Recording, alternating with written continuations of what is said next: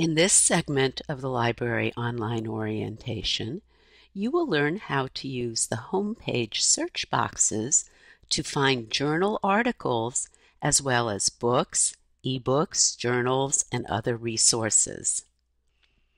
The main search box on the Lister Hill Library page has seven different searches for you to use.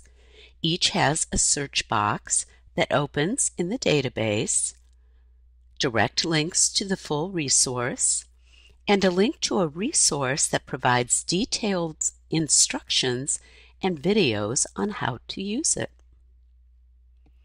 These three tabs allow you to find out which journals, books, and electronic resources the library licenses, and to view the online resources from the results page. If you are looking for journal articles on a topic, or want to look up a specific article, use one of these four tabs. Now, let's take a quick look at each of them individually.